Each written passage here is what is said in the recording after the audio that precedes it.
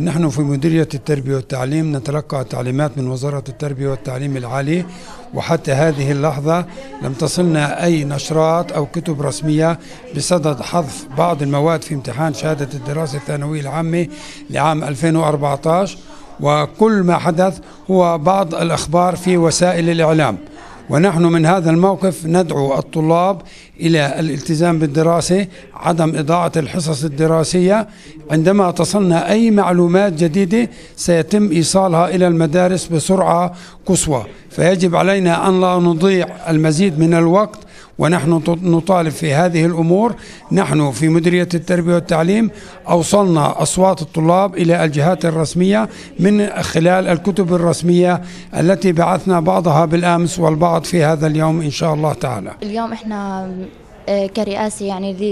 من كل صف بنت توجهنا لمديرية التربية والتعليم بنطالب بأنه يصدر قرار نهائي آه، بشأن حذف المواد أو إبقائها لأنه اللي صار إنه صار في نفسية على الطالبات تأثرت كثير الطالبات ما في قرار نهائي كل آه، وسائل الإعلام تصدر شكل ومديرية التربية والتعليم تصدر شكل. فإحنا اليوم توجهنا لمديرية التربية والتعليم بنطالب إنه توجه للوزارة قرار نهائي.